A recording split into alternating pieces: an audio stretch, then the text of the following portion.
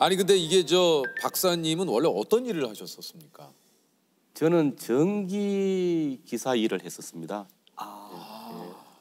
전기 공사를 했습니다. 공사를 하셨던 예. 일을 하신 예, 거죠. 예, 예. 근데 이제 이게 실례지만은 그 당시에 이제 사고가 나셔가지고 예, 예. 그때 여러분들 밖에 나가면은 그 전봇대 있죠. 있죠, 네, 있죠. 네, 예. 네.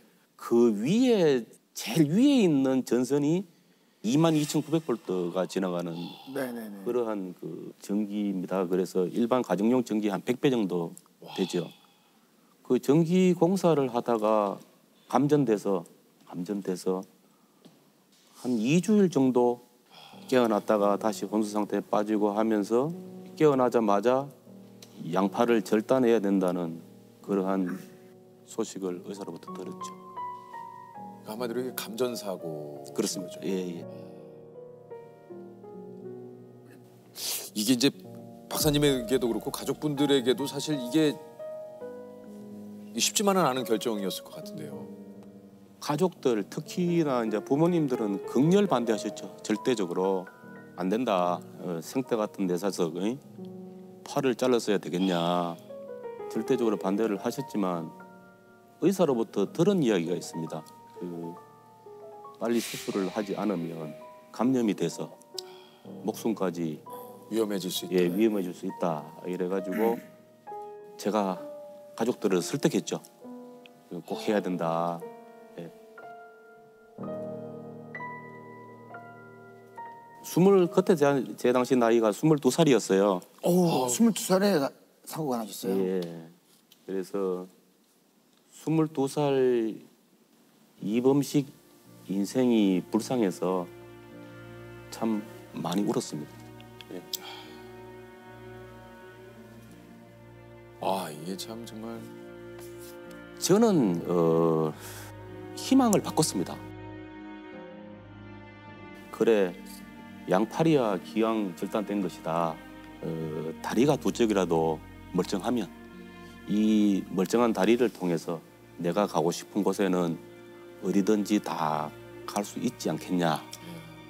근데 또 이게 오른쪽 다리에도 어, 전기 독이 번진다고 아, 오른쪽 다리 마저 절단 당하고 나서는 아이고 진짜 희망마저 다 솔직히 말씀드리면 잃어버렸죠. 그래서 영원히 잠들었으면 하고 그렇게 생각할 때도 사실은 있었어요. 아 이게 뭐 지금이야 이렇게 얘기를 하시지만 이 병상에 계시면서 진짜 얼마나 수많은 생각이 또 드시고 하셨을까 하는 생각이 좀 듭니다. 어, 내가 만약에 전기 일을 하지 않았다면 그리고 그날 그 현장에서 내가 일을 하지 않았다면 내가 가진 전 재산을 줘서라도 그 사고를 당할 그 시점으로 돌아갈 수만 있다면 돌아갈 수만 있다면 돌아가서 나에게 그 자리에서 도망쳐 라고 이렇게 아마 이야기를 했었을 것입니다. 그런데 만약에라고 생각을 해봐야 마음만 더 아플 뿐이었습니다. 아, 이게 참 정말 그 그러다가 이제 마음을 이렇게 다잡게 된 그 순간이 좀 있으셨다 그래요. 어, 대구 지역의 겨울에는 눈이 잘 안 옵니다. 아, 그렇습니다. 예, 예. 네. 그래서 병실에 누워서 이렇게 밖을 보니까 눈이 내리더라고요. 눈이. 그래서 그 눈이 내리는데 떨어지자마자 이게 다 흔적도 없이 사라지죠. 사라지는. 네.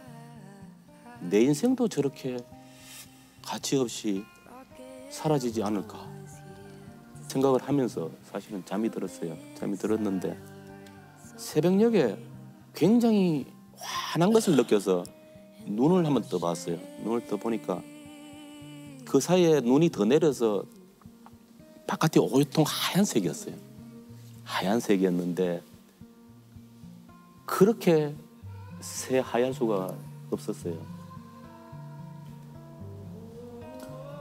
앞으로 어떤 세상이 펼쳐질지는 잘 모르겠지만 한번 살아보자.